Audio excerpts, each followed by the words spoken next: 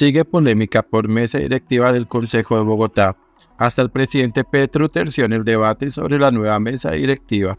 Este 2 de enero, Juan Javier Baena Merlano, un concejal del Partido Nuevo Liberalismo, fue designado como presidente del Consejo de Bogotá con 44 y 45 votos a su favor, siendo Juan Daniel Oviedo el único en votar en blanco. Al parecer, la elección del abogado de profesión con experiencia en derecho administrativo, especialmente en responsabilidad fiscal, contratación estatal y defensa judicial de entidades estatales, como presidente ya tiene algunos problemas, pues en las últimas horas se conoció que en el acto de posesión se habría violado el estatuto de la oposición, pues la primera vicepresidencia del Cabildo no quedó en manos del pacto histórico, bancada declarada en oposición al gobierno distrital, sino el concejal Rolando González de Cambio Radical.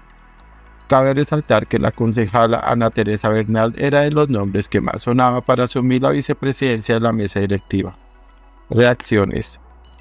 La primera reacción fue la del presidente de la República, Gustavo Petro, quien aseguró que pedirá a la Agencia de Defensa del Estado investigue dichos nombramientos donde se violó la Constitución.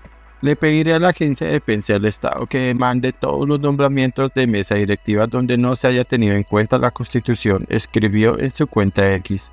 Como era de esperarse, la polémica continuó y la concejala Ana Teresa Bernal también alzó su voz para opinar al respecto.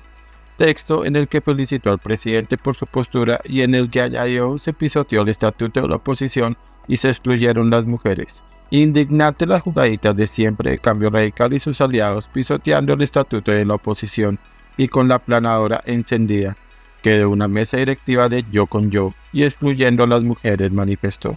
A su turno, Juan Daniel Oviedo también demostró su apoyo a la causa, pues, aunque no dudó de las capacidades del vicepresidente elegido, indicó que dicha tarea solo debe recaer en los cabildantes de su partido, con toda por Bogotá o en su efecto del pacto histórico.